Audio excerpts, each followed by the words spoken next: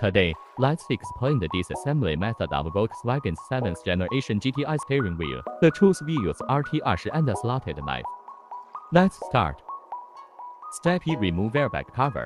The first step is to remove the airbag. Let's find the springs of the two airbags at the back. The spring here is stuck in the airbag. We're going to tilt sideways and inward. Then the airbag presses down.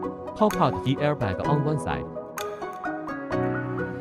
The same is true on the other side.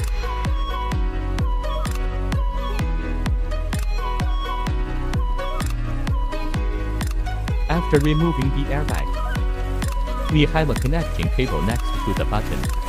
There's a buckle in here. You'll have to press it and pull it out. Let me show you the details of pulling the plug. This is the button to pull out the airbag. The key on the airbag is pressed here, then pull it out.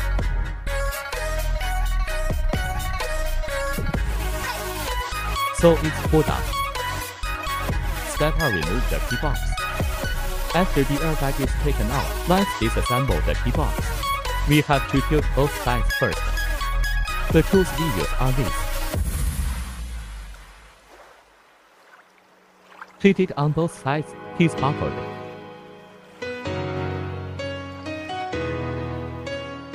What happens when you run?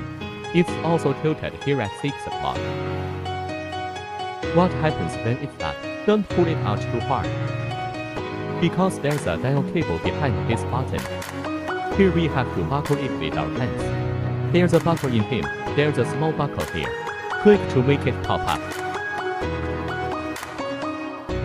This completes the disassembly. Step 3. Remove the pedal. Finally, the pedal needs to be removed. We loosen it with the T2 screwdriver. Then take it down.